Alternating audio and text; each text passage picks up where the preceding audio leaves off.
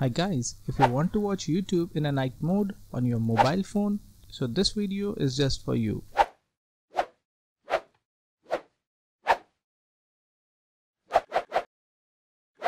Guys, I guess there is only two, yes, only two ways to make this happen. First one is Panda YouTube Player which is not recommended by us and unfortunately this app is not available on Google Play Store right now and also it sucks.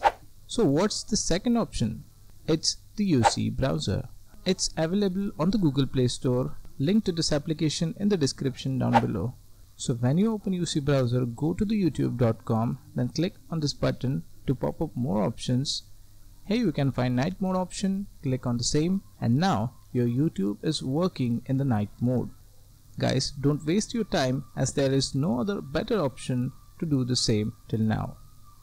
Guys, if you like this video, do hit the like button down below. If you haven't subscribed to our channel yet, do hit the subscribe button down below. That's it for this video and I'll see you on my next one.